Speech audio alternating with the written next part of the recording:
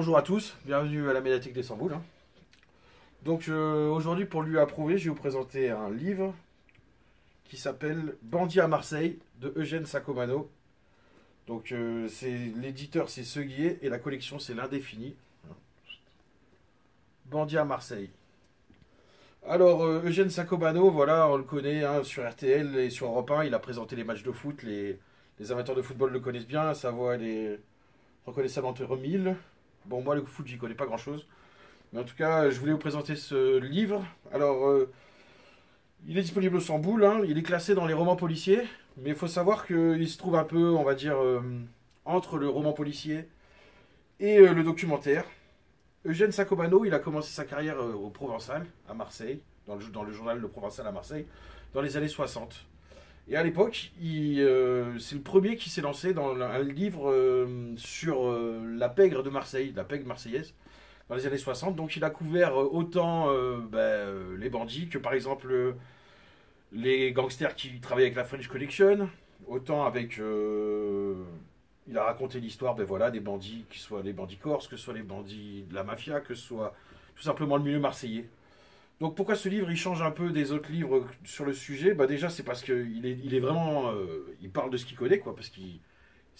Dans ce livre il fait vraiment une, une enquête de terrain, quoi. Il va euh, interviewer directement les gens et tout. Et euh, contrairement à d'autres...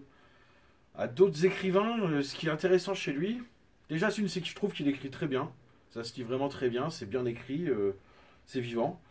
Et la deuxième chose aussi, c'est qu'on sent jamais chez lui euh, bah, quelque chose d'apologique ou une admiration pour les bandits. euh.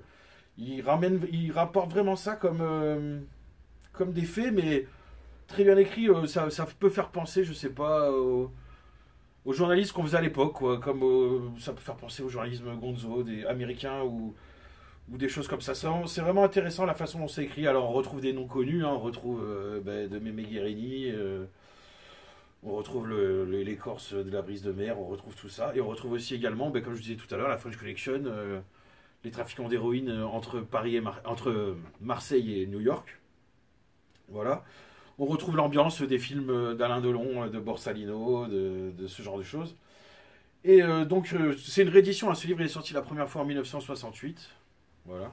C'est pour vous dire l'époque. hein. Voilà, c'est vraiment cette époque-là. Et voilà, moi je vous conseille vraiment la lecture de cet ouvrage. Euh, si vous aimez euh, l'histoire de gangsters, euh, si vous aimez ce genre de choses, vous allez y trou- y trouver votre compte. Mais sachez que voilà que c'est vraiment bien écrit, que c'est intéressant et surtout ça donne une autre vision de, bah, de, de cette de, d'Eugène Sacomano quoi. hein. On le connaissait essentiellement pour le foot. Moi j'ai découvert avec ça que bah, il avait une vie avant le football. Et quand on voit tout ce qui tout ce qu'il nous raconte et tout, tout, tout ce qui tout ce qu'il a vécu, enfin tout ce qu'il documente, euh, on, se, dit que ouais, on comprend pourquoi il est allé vers le foot après. hein, ça a dû, ça a dû, ça devait être plus calme, en tout cas. Voilà, et il faut aussi savoir que voilà, c'est Marseille, donc euh, vous allez retrouver là-dedans autant d'histoires de gangsters que aussi euh, des poignolades les plus diverses. voilà, c'est marrant aussi, c'est très marrant. c'est les gangsters du sud, quoi. hein, c'est des gens horribles, mais qui ont un, un bagou. et on retrouve vraiment tout- tout- toutes ces choses-là, quoi. Tout ce qu'on peut trouver dans le sud, surtout à l'époque.